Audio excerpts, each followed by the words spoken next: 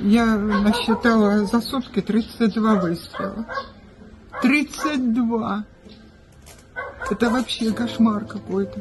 До нашого екіпажу білого янгола звернулася літня жінка з населеного пункту Зарічна та попросила допомоги в евакуації, оскільки в даної жінки було втрачене житло внаслідок ворожого обстрілу, та вона була вимушена мешкати в літній кухні. Приїхавши на місце до неї, ми евакуювали її разом з її речами та домашніми тваринами. В даному населеному пункті ситуація е, дуже напружена, постійні ворожі обстріли, через що жінка була вимушена виїхати в більш безпечні місця для подальшого проживання її разом з її домашніми тваринами.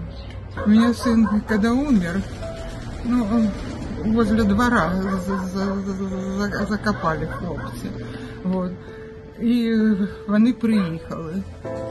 Ну, они, они приїхали, короче говоря, сказали, що мол, м, ну, надо, щоб біля двору, щоб на кладбище, щоб місто, щоб, в общем, короче говоря, все, все они сами сделали.